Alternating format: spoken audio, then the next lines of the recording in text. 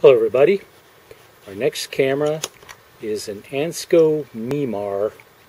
It's a Type 1.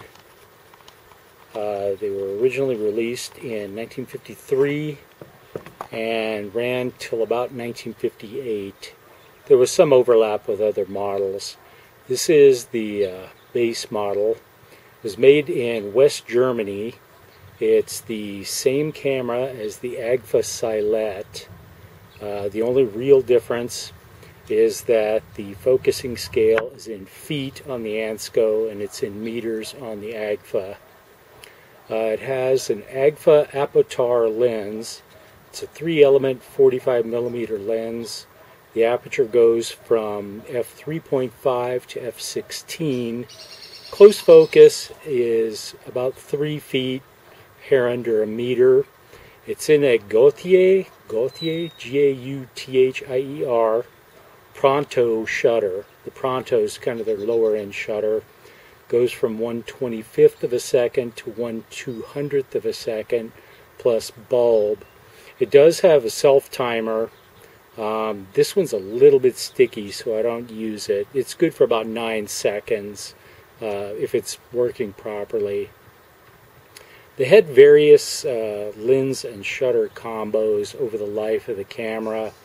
Um, they had the Pronto, the Prontor.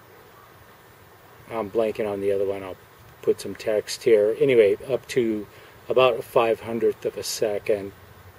Uh, it's a simple zone focus viewfinder camera. Uh, the eyepiece is pretty small, but if you get it right up next to you, even wearing glasses, it's nice and bright and clear.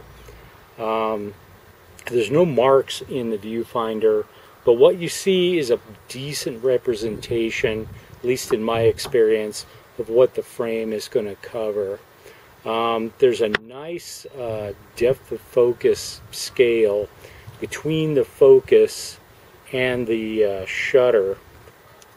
It has a cold shoe or accessory shoe um, and then on the body, rather than on the shutter itself, does have a PC sync. Now this isn't X sync, so I for flash shots I used 125th of a second, but most of them were underexposed, and I should have used you know bulb and open flash. But the reason for that is since this is made for flash bulbs, I mean, if you graph, um, you know, they ignite and then they get to their brightest and then they kind of taper off. So there's a little bit of a delay. It hits the flash sync first so that the shutter being fully open, and it's a leaf shutter, the shutter being fully open will match the peak of the flash bulb, whereas X-Sync is pretty much instantaneous. So what's happening is it hits the uh, flash and an electronic flash. It's pretty much done by the time the shutter is reached fully open. So anyway, I just have to remember that, that this isn't set up for X-Sync. And if you have a shutter that has X and M, that's why you have two different settings. Even with a leaf shutter, the uh, delay needed for a flash bulb, you don't need that for the X-Sync. So that's why you have those two different settings. Um, these pictures are back from in June. We were up in Del Norte, Colorado, and my wife and I did a hike at La Garita Arch and it's kind of funny, these, this sequence right here, I was bracketing because it was pretty bright sun and this shutter only goes to a 200th of a second.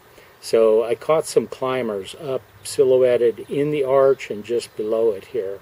So that came out kind of cool. Well, it's got that rather than the rewind because it doesn't have a crank.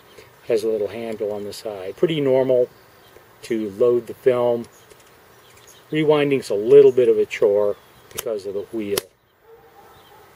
Um, it does have a film reminder. There's no meter, so that doesn't really do anything. Tripod socket rewind button. Pretty normal.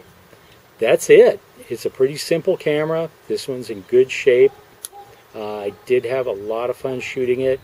I used the uh, some of the Plus X that my wife found at a uh, thrift store. Pretty old, so I'm rating that at about ISO 32. Seems to be about right. So I'm on to the next camera. Anyway, I will see you then.